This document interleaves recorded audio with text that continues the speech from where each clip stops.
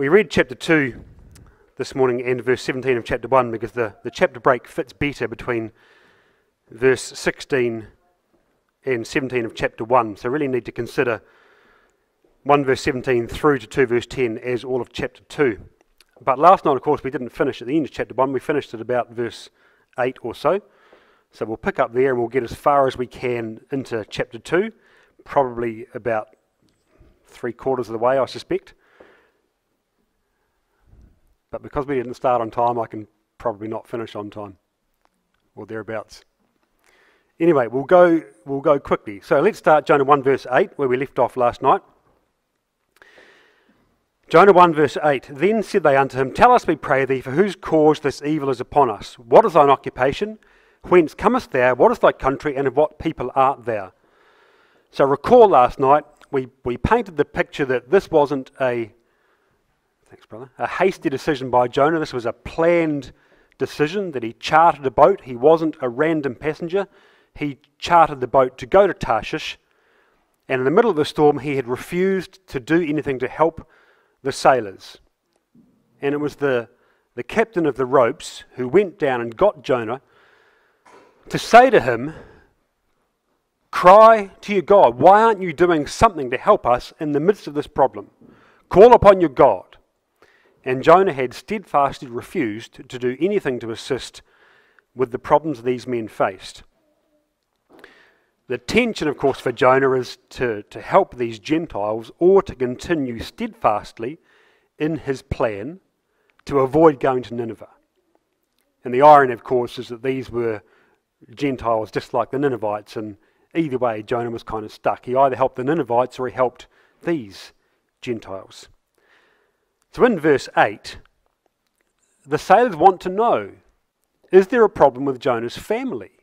Is there a problem with his job? Is there some natural problem with him or his people that's caused this great evil to come upon them? What, what's, what's the root of this problem? And what they want Jonah to do is to confess. So they're pressing Jonah to give an answer for what's gone wrong, for him to say, Here's the cause of this problem. You tell us why this is happening. So in verse 9, Jonah does. He says, I am in Hebrew. I fear Yahweh, the God of heaven, which hath made the sea and the dry land. Now, if I can just refer you to your notes, in the first few pages, we talk about the structure of the book of Jonah, and we go through a broad structure and then a more detailed structure, and then there are, I gave you a structure per chapter. And if you've read the notes, you'll recall that each chapter is chiastic which means it's the, a series of ideas presented with a central point, and then the same ideas are repeated in reverse order to the end of the chapter. So for chapter 1, verses 1 to 3 are an introduction and not counted. But then the chiasm starts in verse 4 and goes through to verse 16. Verse 9 is the central portion of the chiasm of chapter 1. That's the key idea structurally that the writer wants us to pay attention to. And there's a key idea in each chapter, which we'll get to as we, we track through the chapters. So in chapter 1, it's verse 9. We'll come to why that is in due course. But just note that this is a, a central verse. We need to pay particular attention to it as we continue. So Jonah says, I'm in Hebrew, and that's, that's probably unsurprising because they, they picked him up at Joppa in Israel, of course. And in calling himself a Hebrew, he calls himself by the name which other countries would have recognized. He didn't call himself an Israelite. He didn't say, I'm from Galilee or Gath Hepher. He said, I'm a Hebrew, because that's what they would understand. It's meaningful for them. But it also allows them to identify his God, which is what they wanted. Remember, they'd cried to their gods and had no luck. They'd asked him to cry to his God, and he hadn't. And then they'd cast lots to find out who the problem was. Well, he says, this is Yahweh Elohim, the covenant God, the God of heaven, the God of sea, and the God of land. So the, for the Phoenicians, the competing god was Baal, who was a god of the sky, who could control the weather. So this is, of course, a, an argument that would be continued for hundreds of years, because in years to come, it was still a god of Phoenicians of one kind versus a god of Israel in various battles through the history of Israel. The question for the sailors now is well, can this God control the sea? Because that's the problem they've got. They really didn't care about anything else. Their problem is the storm. But Jonah's given them more information than what they're used to. Because Jonah said, This is a God of the sea. That's important. And a God of heaven. Well, that's important because that's where storms come from. And a God of land. Well, that's irrelevant to the sailors. They're not concerned with the God of the land. But what it does do is it, it gives these sailors a very clear picture of the breadth and scope of Jonah's God. Now, they might not feel subject to that same God, but they understand because they are they're polytheistic, these men, right? They believe in a multitude of gods. So, any particular God who can control the sea and the heaven and the land, that's a formidable God. It is no wonder Jonah is in trouble. If Jonah's upset that God, well, who's this man? What could that man have done to upset a God that powerful, who can control all of those things? And why is he running away? So they ask Jonah a simple question, but he gives them information that would cause them to ask a number of further questions. And if you think about the way the word represents these things, well, the sea is the nations, isn't it? And when God brought the dry out of the sea, well, that's Israel. And the heavens are where the powers are and where God dwells. So, what Jonah says is this is the God over all things. This is the supreme deity who controls all things. Well, that's a mighty God. And what Jonah doesn't do is to say, I'm afraid of my God before whom I've sinned. Jonah just said, I'm afraid of this God. I fear Yahweh. I reverence that God. He doesn't say, and I've done some foolish things and I'm in trouble. He just says, I fear that God. So, what Jonah does, and what Jonah only does, is to declare his position. It's a statement of fact before them. He gives them no information about his occupation, about his family, about his land, about what he might have done, which are all the questions they ask. He doesn't answer that question. He just says, I'm in Hebrew and I fear Yahweh. But that's a, that's a fearsome God. And through the book, of course, you, you see that this God clearly is in control of all things. He controls the storm, he controls the heavens, he controls the fish, he controls the gourd, he controls the worm, he controls the sun, he controls all things through the book of Jonah. That's the God that Jonah fears. And so, consequently, verse 10, Jonah chapter 1, the men were now exceedingly afraid. They were afraid earlier of the storm. They are now exceedingly afraid in verse 10 because of what Jonah told them in verse 9 and the implications of who this God is. So they say, As you would, why hast thou done this? Because they knew that Jonah had fled because he told them. So, what have you done? What's the story? So, you've got to understand now, of course, the disbelief these sailors have. How incredulous they might seem at this man. Why would you flee from a God of the sea by taking a sea voyage? That seems foolish, Jonah, when you're not even a sailor. Why would you do that? Surely you know that that would imperil everybody on the boat. Well, he'd told them he was fleeing from his God. And in the first instance, that would mean to them that was a God of the land. If you come with me to 1 Kings chapter 20, here's how they would think. Because they have a particular view of, of, of what a God is, and if they're unfamiliar with the, the idea of Yahweh, the, the God of Israel, they would think about Jonah's God the same way they'd think about their own gods, which is like this in 1 Kings 20, verse 23.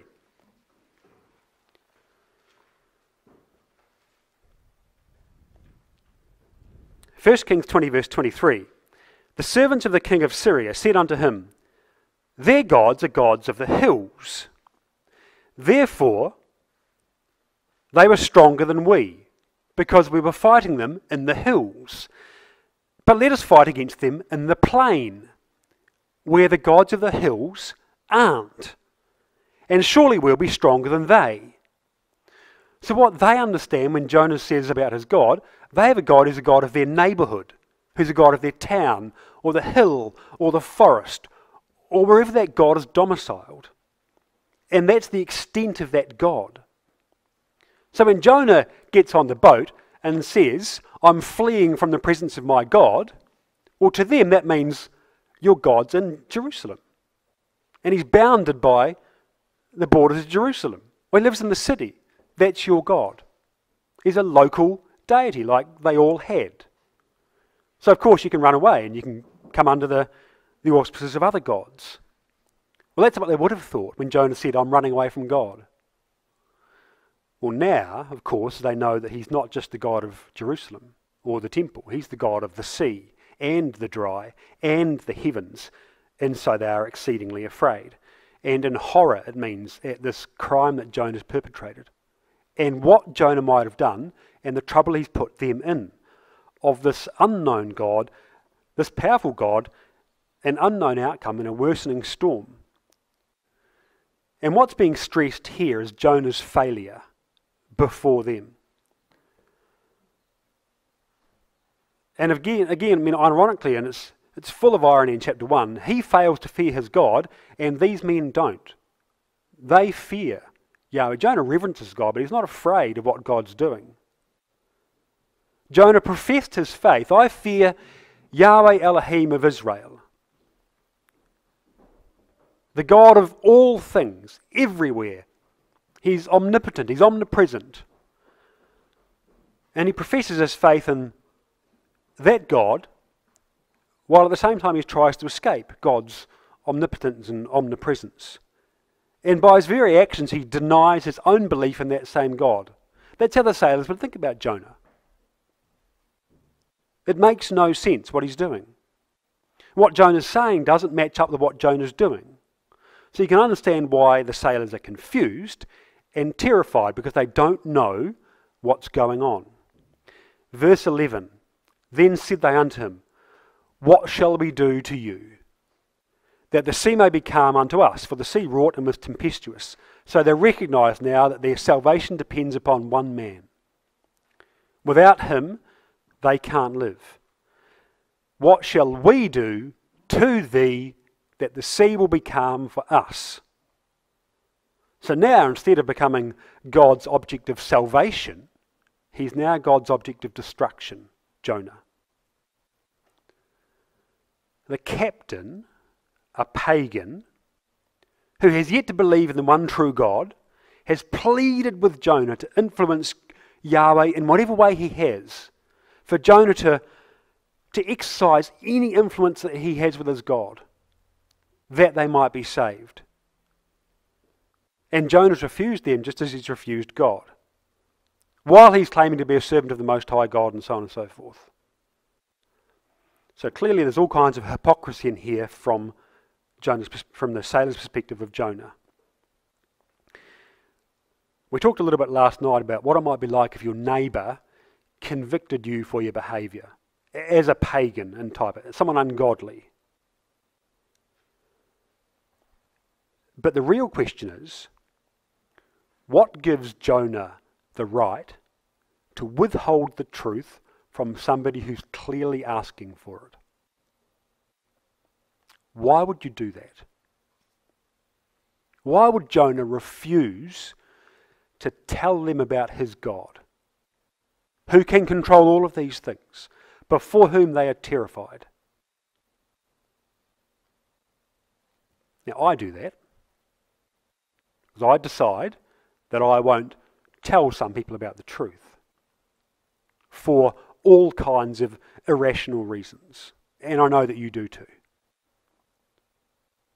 And Jonah's just done the same thing.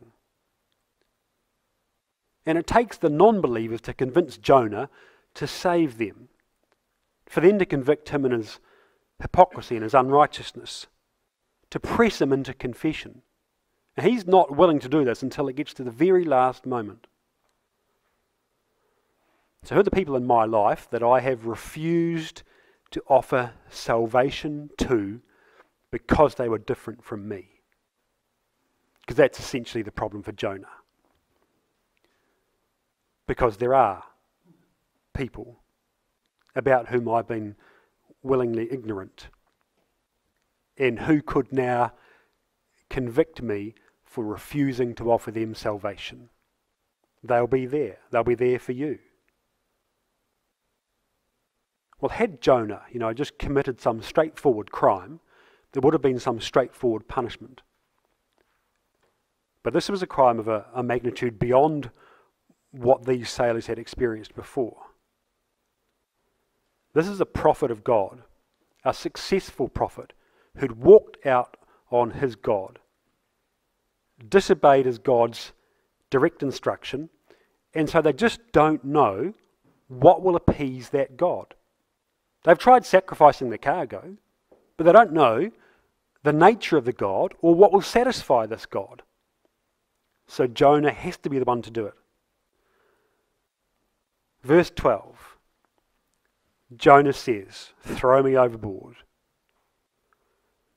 and then the sea will be calm. I know that it's my fault, he says in verse 12. So there's enormous pressure on Jonah, of course in, in what he does. The end of verse 11 reads that the sea wrought and was tempestuous, the storms continuing to get worse. And as they stand there on the boat, with the waves getting higher and the storm getting worse, and the rain and the wind and, and all of that, the scales of justice sit with Jonah. So, what does he do? Well, Jonah's still got choices, of course. Option one do nothing. There are sailors, they're at sea, storms happen at sea, that's a fact of life. You deal with that as a sailor, go back and do your job. And let's not think that Jonah didn't contemplate that. So that was option one. He didn't choose that, of course, but he could have done that. Option two return to Joppa. Now, Jonah didn't want to do that because that was where he came from, of course, because he fled from God there. Well, that would suit the sailors, wouldn't it? That, that's a quick option. Go back to Joppa and start again. That would have saved the sailors potentially. Could have given Jonah the opportunity to go and repent before his God and to start afresh. But Jonah couldn't bring himself to do that. And there's a very good reason why, I believe. Jonah had sailed west from Joppa, the opposite direction from where Nineveh lay. If you come to Jonah chapter 3, I think we're told the answer.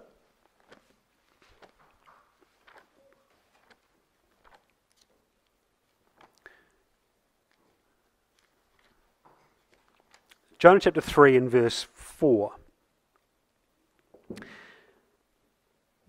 Jonah began to enter into the city a day's journey, and he cried and said, Yet forty days, and Nineveh shall be overthrown. In verse 1 of chapter 3, uh, verse 2 rather, God says to Jonah, Arise, go to Nineveh, that great city, and preach unto it the preaching that I bid thee. So there's been a conversation between God and Jonah. Go and tell them what I've told you to tell them. So Jonah knows Destruction will come in 40 days for Nineveh. Jonah's chartered a boat to Tarshish. Why? Jonah just needed to get 40 days out. That's all. I just need to exhaust a 40 day period to avoid my responsibility for 40 days, and judgment will come on Nineveh. That's it. Not complicated. I just need to wait. I'll charter a boat. It's going to take six weeks to get to Tarshish or more. And return journey, three months, I don't know. It just needs to be 40 days. And that's all. I'm not going to Nineveh. I just need to avoid my job for 40 days. Nineveh will be destroyed. My people will be saved. You can see it's entirely logical what Jonah's doing. Makes very good sense in Jonah's mind. But he discards that option too. Option three jump. He could have just sacrificed himself, perhaps. Said, I'll just, I'll just go overboard myself. That would perhaps be a compassionate response. That he might have just gone and done it. And Jonah knew he's being disciplined by God. But Jonah didn't take that option either. He made the sailors do it. Throw me overboard, you do it. Jonah would still expect to drown. Perhaps it made the outcome easier to bear. I'm not sure. But Jonah asked them to execute judgment on him rather than executing judgment on himself. So as Yahweh cast the storm, the sailors cast lots, and Jonah instructs them. And it's the resignation of death, isn't it? He expected to die when they cast him overboard. And for his disobedience, Jonah's cast into the sea of nations. Verse 13 Except that these men, these filthy Gentile dogs, these pagans, rowed hard in verse 13 to bring it to land, but they couldn't and they refused to sacrifice Jonah. So they bent their backs, they pulled the ropes, they tried and tried and tried to make landfall. These are remarkable men, aren't they? An extraordinary spirit. Note in verse 11 that the sea wrought and was tempestuous. Now, note in verse 13 the sea wrought and was tempestuous against them. There's no way they're going to make land because this is a, a God directed storm. So God's against the sailors in the boat. The sea is actively against the sailors, they're divinely prevented.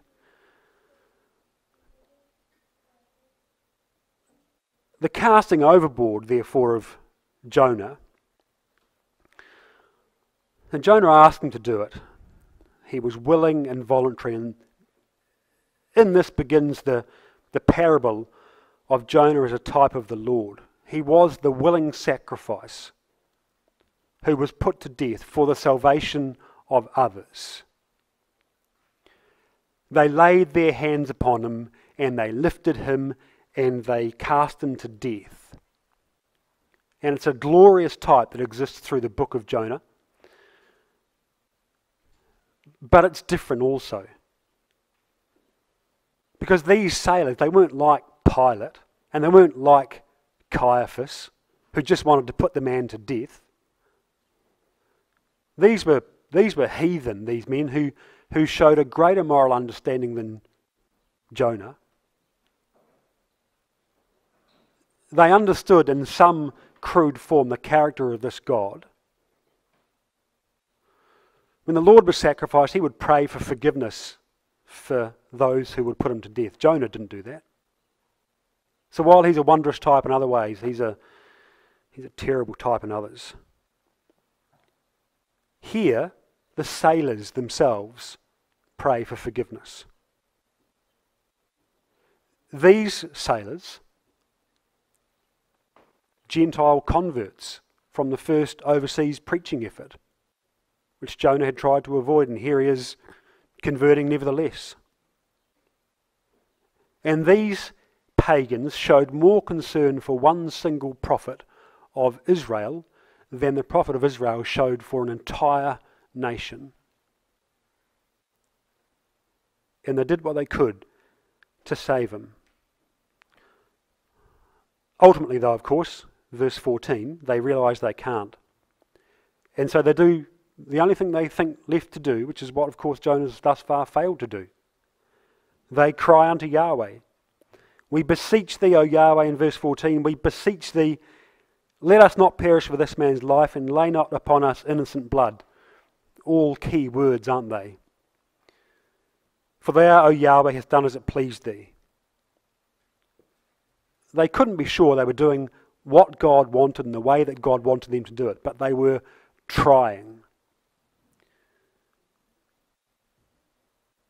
And you can understand that they probably feared themselves for their own lives because they were taking the life of one of Yahweh's chosen servants.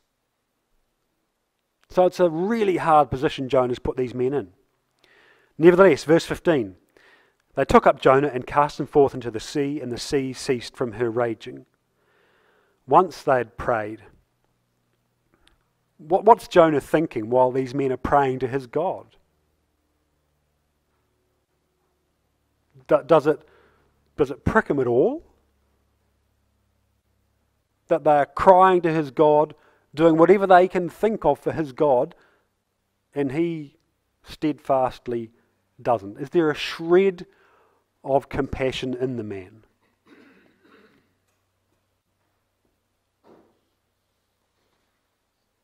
We don't know what Jonah thought. It's an interesting exercise to consider it. But in the end, he didn't, and he accepted that death was his due. That was the wages for his actions, and he stood by to be executed. So they do. And the sea ceased from her raging. It means literally that it stood still from its anger. And immediately, it's all calm. The wind stopped, perhaps the clouds cleared, it's a sunny day, the ropes creak, sail flaps a bit, and that's it. What would you do then? Well, that was strange, wasn't it, fellas? Never seen the like of that before. What do you make of that? What kind of God is that? Well, I don't know how the conversation on the boat would go next, but it's fascinating to consider what these men did. Perhaps they just stood around lost in their thoughts at the power of this God who can calm the sea like that. Perhaps they wondered about the specialness of this man that would cause his God to do that in a moment. Absolutely, they were part of something significant and special, and they knew that. Verse 16 Then the men feared Yahweh exceedingly and offered a sacrifice and made vows. Now, that had proof, hadn't they, that this was a God of the heaven and the sea and the dry. They feared the storm in verse 5. There was terror in the storm in verse 10. Now we're through to reverential fear of this new God in verse 16. They've got no cargo left, there's probably damage to the ship, and, and they limp back to shore. And do what? I think they go to Joppa, these men. In fact, I don't think, I'm, I'm convinced they go to Joppa. I'm convinced they go to the temple, actually, these men. They offered sacrifice to Yahweh, vowed vows before Him with thanksgiving for deliverance and forgiveness. They'd feared Yahweh more than they'd feared Jonah. And they gave Yahweh a respect that Jonah should have given him. And they were obedient to this new God. And then you think about these men, they're, they're quite remarkable. And while they're thinking these things, verse 17, Yahweh had prepared a great fish, already prepared. Not Yahweh prepared then, Yahweh had prepared. And Jonah's in the belly of the fish three days and three nights. Now, of course, this is overflowing with symbology, this verse. Of course, that takes us straight to the New Testament. the Lord's going to be in the belly of the tomb. It's wonderful, though, because it's a clear signpost forward from Jonah. And the Lord would quote this in Matthew chapter 12, and he'd reference this story as a literal event regardless of how fantastical it might seem, the Lord references this as fact. And as wondrous as it was for the Lord to reference it back, it was also wondrous for him because it referenced forward. Because he knew Jonah was three days and three nights in the belly and was then expelled. And though I'll be crucified and I'll be in the belly of the earth, I will be expelled from the tomb. So it was a wondrous reassurance for the Lord that Jonah was vomited up by the fish because it pointed forward for him faith in his Father, comfort in the plan, that the things that have been said will come to pass and I will be at the right hand of God. So the Lord could take all kinds of comfort from the story of Jonah. But for the immediate audience, there were other things. The fish was prepared by God that it might swallow Jonah. And swallowing's never good in the scripture. In fact, it's almost always very bad when things get swallowed. Death, destruction, and being overcome. It's a very hostile word. The initial inference, of course, is that God's going to execute Jonah with the fish. And, and he wasn't, but the sailors wouldn't have known that, not that they probably saw the fish. And Jonah didn't know that. For Jonah, this is a vehicle of destruction, and being swallowed by the fish meant death. Well, why not? Why not save Jonah some other way? Why not some of the floating cargo, the flotsam and jetsam off the boat that Jonah could have grabbed hold of? Jonah didn't have to go into the fish, did he? So the fish itself is significant. And it really is. In your notes, I've made the argument this is the basking shark. And there's some photos of different kinds of fish. The, word, the Hebrew word is just the word dag, which can just mean a sea creature of some kind. So there are really only three options for what this can be the whale shark, which is big and appropriate, and it's a mouth feeder. It swims along with its mouth open, collects little fish, but its esophagus is too small for a man to fit through. You don't find them in Mediterranean either. Sperm whale, big enough.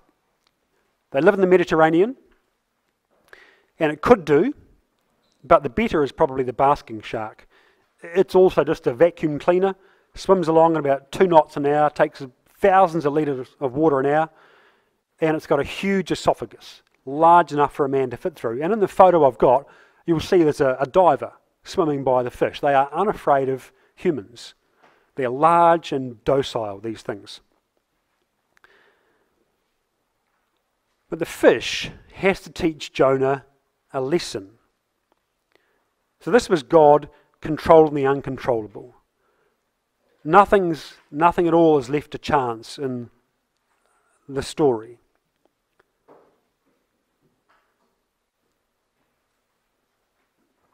Doesn't really matter what kind of fish it is, by the way. I mean, I'm, i think we're right about the basking shark, but the, the kind of fish isn't the point. The nature of the fish and what the fish does is really what God wants to teach, wants to teach Jonah. So, verse 2, Jonah chapter 2, uh, verse 1 rather, Jonah prays unto Yahweh, his God, out of the fish's belly. So, verse 2 is at the end of the time in the fish. You know, I think it's wonderful, really. It's just a little reminder. There are, there are lots more. It's a reminder it doesn't really matter where we are or what we're doing, we can offer prayer. And here are some that I had just had a quick skim. It, it doesn't require formality in many occasions.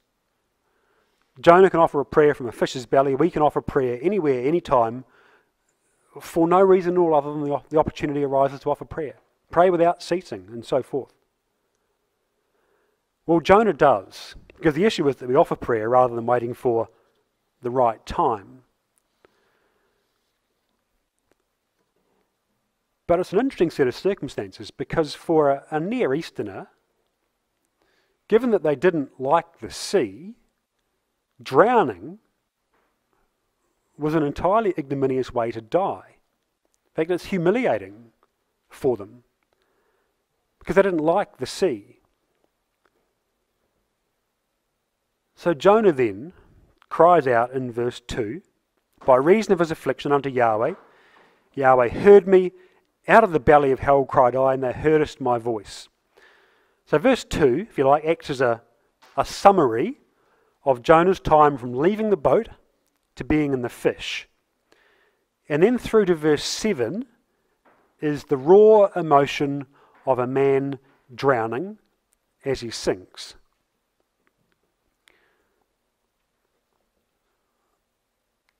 Well, Jonah does cry out in affliction. And the sailors cry out in affliction. And they're all crying out for the same thing.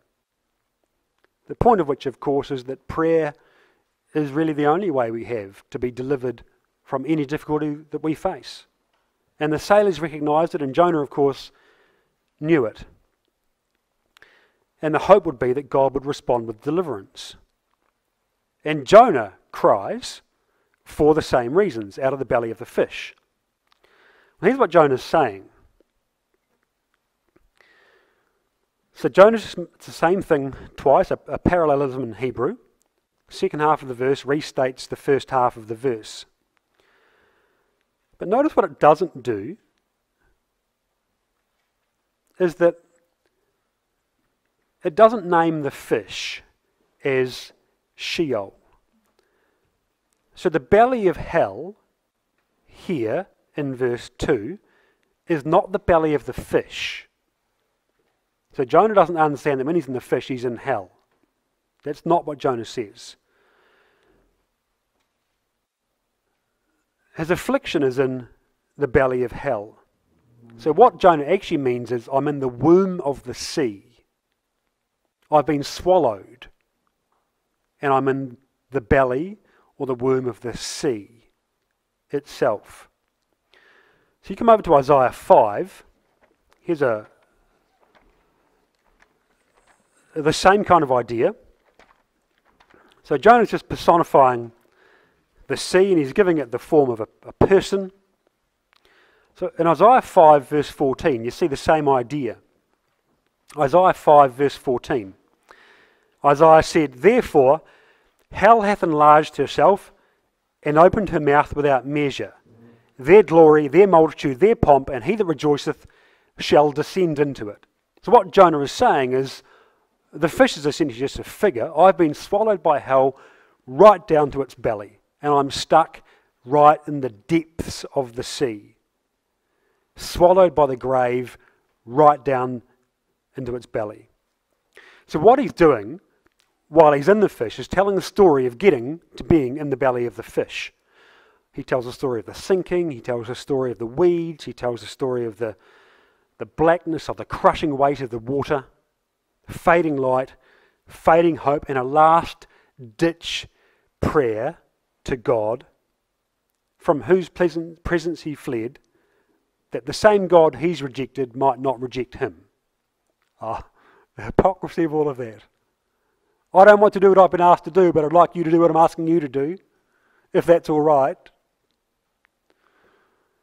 Now, Jonah's got some currency with God. I appreciate that because he's been a faithful prophet. And faithful people do unfaithful things. David was a faithful man and did some terrible things, but God would listen to David. And God would listen to Jonah. This is the first bad thing we've seen of Jonah's life. We don't know everything else, but by and large, we assume he lived a faithful life. But here's the real irony Exodus 33, verse 19. I'll just read it for you. Exodus 33, verse 19. This is Jonah wanting God on Jonah's terms. Exodus 33, verse 19, he said, I will make all my goodness pass before thee. I will proclaim the name of Yahweh before thee, and will be gracious to whom I will be gracious, and show mercy on whom I will show mercy. God talking to Moses in Exodus 33. But the language of that is interesting because it's Psalm 18. And what's remarkable is that in Jonah's affliction, Jonah goes to the Psalms. In fact, Jonah goes to the Psalms over and over again in his plight. This is not an exhaustive list of the references Jonah makes in his own psalm, but they are a fair number of them. In Psalm 18, we're told this from verse 4 The sorrows of death compassed me, the floods of ungodly men made me afraid. The sorrows of hell compassed me about. The snares of death prevented me. In my distress I called upon Yahweh, cried to my God. He heard my voice out of his temple, and my cry came before him, even into his ears. That's exactly what Jonah's done. And you can see why he'd go to Psalm 18. And God responds in Psalm 18, verse 16 He sent from above, He took me, He drew me out of many waters. Well, sometimes the answer to prayer is no. Sometimes the answer is not yet. But Jonah's psalm, oh man, this is a, this is a remarkable, a soaring psalm of celebration of the care of God, of what God can do for the afflicted, of what God can do for us when we're in distress. It's a remarkable thing to say while he's drowning quite extraordinary. And it took till that point for Jonah's pride to start to break and for his own will to start to bend. Well, this is a psalm that comes to Jonah that would ascend to God, that God would know his affliction and hear him. Verse 3 Because, and listen to what Jonah says, he's, he's very clear. In the deep he goes. Thou hadst cast me into the deep in the midst of the seas. The floods compassed me about. Thy billows, thy waves passed over me. And Jonah knew where this had come from. This is all God's doing. Jonah was clear about that. But it suggests that when Jonah's thrown overboard and before the fish, there's a little bit of time that he's swamped by the sea and the waves. When the waves go over top of him and he recognizes this is God.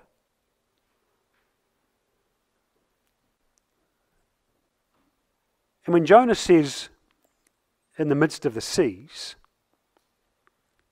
it means heart. This is Jonah continuing with the personification of the sea. He's been in the belly or the womb. Now he's in the heart of the sea. And it's probably this the Lord references in Matthew 12 verse 40. Because the Lord said, As Jonah was three days and three nights in the whale's belly, so shall the Son of Man be three days and three nights in the heart of the earth. Which is the language that Jonah uses to be in the heart of the sea. And when Jonah says, The floods compass me about, the word's better rendered river, which gives us two interpretations to later readers of the book of Jonah, so for those around the time of the, the ancient Greeks and the Romans, the Mediterranean was a river. That's how they considered it. In fact, they would consider the entire, the entire ocean to be a river, but for some of them, that was the entire ocean. So, in some of the later works um, of the famous Greek writers, they would write about the sea as a river. So, when Jonah says, the, the river compasses me, that's what they might think. But probably um, and, and a, a, more interesting one, really, is that it's probably a current in the sea rather than the whole sea itself. And in the Mediterranean, the current flows from west to east. So it would take Jonah towards Joppa. And if he stayed in the current, he'd bump into the coast of Israel. And then the current goes north. So what Jonah probably means is he's just dragged along by the current and he goes under the water. Could Jonah swim? Probably not. Was he fully clothed? Probably. So Jonah's going to go under, in a natural sense, reasonably quickly. And then Jonah just goes, and you can see the references on screen over and over again to the Psalms. Psalm 42, for example, he says this My soul thirsteth for God, for the living God. When shall I come and appear before God? Well, that was the God that Jonah had left behind, from whom he'd fled. Psalm 42, verse 3 My tears have been my meat day and night, while they continually say unto me, Where is thy God? Well, that's what the sailors had said to Jonah on the boat. Psalm 42, verse 4 When I remember these things, I pour out my soul in me, for I had gone with the multitude. I went with them to the house of God with the voice of joy and praise, with the multitude that kept holy day. Well, Jonah had been in the house of God and he'd left it to avoid his commission and to throw in the towel from the temple. In Psalm 42, verse 7, which is particularly the bit Jonah uses, Deep calleth unto deep at the noise of thy waterspouts, all thy waves and thy billows are gone over me. Well, here's the hard question, though, brothers and sisters. And I, see how you go with this. I failed this. Jonah's pulled under by the weight of the, his clothes and the, the billows and the waves, the pull of the current, and he goes under. Cast in the sea, Jonah thinks God's turned his back, as you might. That he's cried to God, and I'm drowning, and there's no hope. Psalm 31, verse 22. I said in my haste, I am cut off from before thine eyes. Nevertheless, thou heardest the voice of my supplications when I cried unto thee, in Psalm 31, verse 22.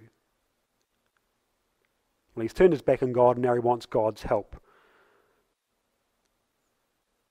Forgets God when things aren't going his own way. He wants God when he wants God. Well, that's, that's not how God goes. Well, in verse 5 of Jonah 2, he's drowning. The depths close about, the weeds about his head, and he recognizes that this is really hopeless. There's probably no way out. So Jonah's giving way to the burden of impending death. And in verse 5, when he says, when he uses the word depth, that's the same word used in Genesis 1, verse 2, when darkness was upon the face of the deep. So this is the chaotic, dark, unbridled, uncontrolled place that the sailors feared and that the Jews didn't like on the sea. It's that the chaos of Genesis 1, verse 2. And Jonah recognizes there's no God there. It's just darkness on the face of the deep, and I'm in the belly of that place. And you can, you can sense his despair. Because that's what the, the world was like before there was light and before God moved upon the waters. So in verse 6 of Jonah 2, down to the bottoms of the mountains, the earth with her bars was about me forever. Yet thou hast brought up my life from corruption, O Yahweh my God. So for Jonah, well, there's nowhere else to go, is there? He can only go down. And he sinks to the sea floor or thereabouts, surrounded by the mountains and the sea, surrounded by the sea, buried in the heart of Sheol, surrounded by the bars and gates of the grave.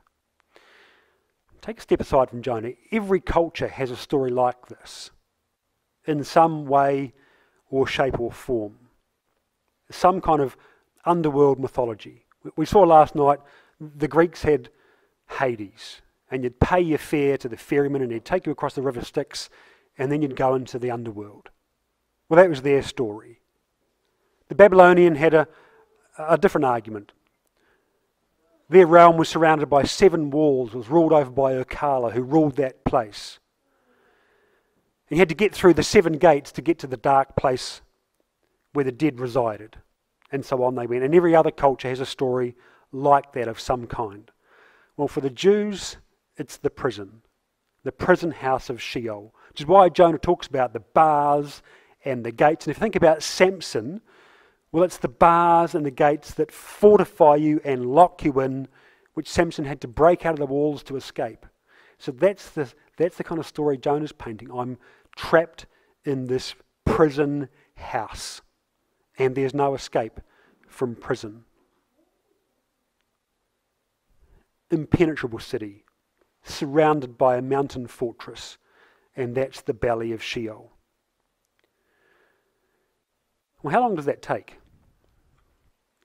I've got a little note in your, in your notes about how long that might have taken. Jonah doesn't drown. And when Jonah's writing this psalm, clearly he's conscious from when he goes into the water all the way down to the bottom because he can retell the story from the belly of the fish. But it isn't long, and what it does say is how remarkably well timed the fish is. There's a very clear process for drowning that I've got in your notes. Maximum time to drown, 10 minutes. Probable time to drown, 3 minutes. Six minutes for probable drowning, but three minutes before you're unconscious. And then there's loss of oxygen to the brain, then complete loss of oxygen, and then you die. And it's predictable, well timed, and everyone's exactly the same. What it means for Jonah is God's got to time the fish to the second. When it says in earlier on God's prepared a fish, he really has to just the moment for the fish to get Jonah before Jonah drowns. All Jonah sees is the door slamming on the prison house and the key in the lock and the lock being turned and there's no escape.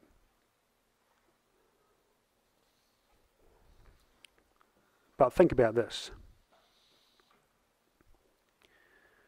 Under that kind of stress, when you're drowning or when you're under some other kind of enormous pressure like that, the brain does funny things quite funny things.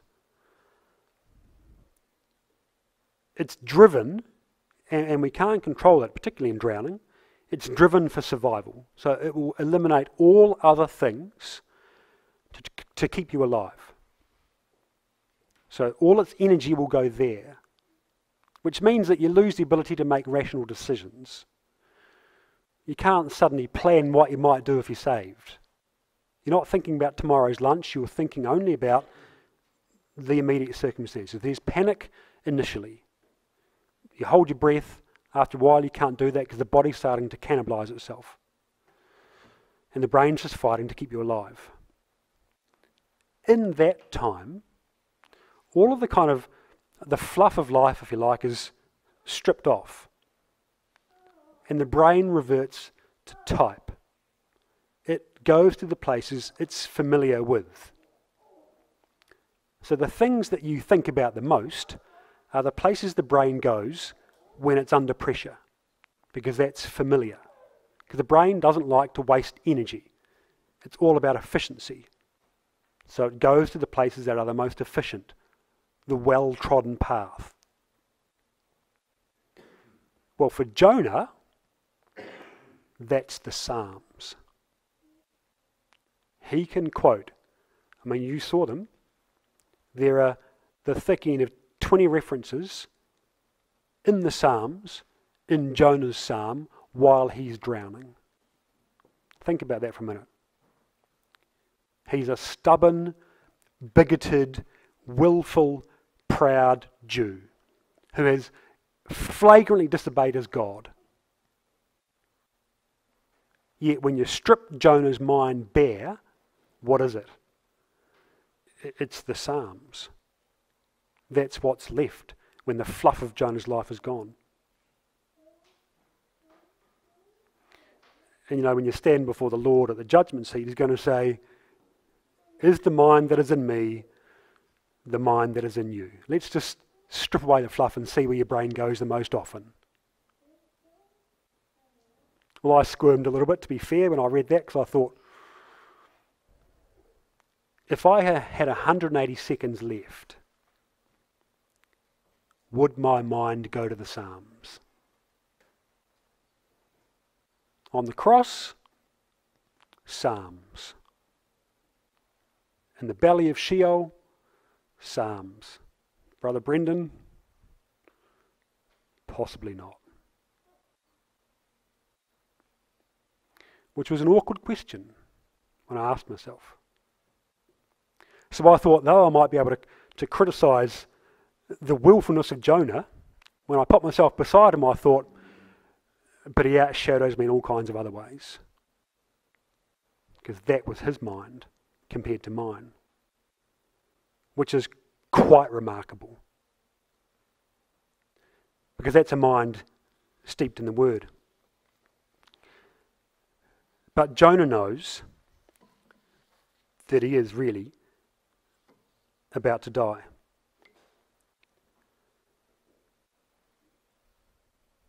Let's finish on verse 7.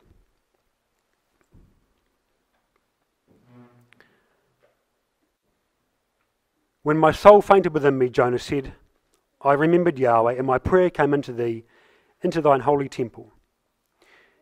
And just as it was in chapter 1 and verse 6 with the sailors, prayer is presented as the key to salvation, where we might otherwise perish. And in those seconds, Jonah does. And in Psalm 16, we're told this Psalm 16, verse 8 to 11. I have set Yahweh always before me, because he is at my right hand, and I shall not be moved. Therefore my heart is glad, and my glory rejoiceth. My flesh also shall rest in hope, for thou wilt not leave my soul in hell, neither wilt thou suffer thine Holy One to see corruption. Thou wilt show me the path of life. In thy presence is fullness of joy at thy right hand there are pleasures. The very presence from which Jonah fled, he knew in that presence is fullness of joy. Jonah's not, he's not a willful, problematic son. He's a faithful and remarkably godly man who has an a single issue with God and a life of complete dedication to the truth. and a remarkable relationship with his father, full of the Psalms. And in that moment, in that white hot furnace of pressure for Jonah, God acts. And at the right second, this enormous fish appears, having been prepared and Jonah might not remember passing through the gullet of this great fish. He may have passed into unconsciousness just before. Certainly, his time's up. And either he thinks he'll drown, or if he's alive in the fish swallows him, he thinks that's it. Either way, there's no coming back from this. And Jonah knows he's about to die. And still, oh, he's tough. He's a tough man, Jonah. Because he still has an argument. But let's do that after morning tea.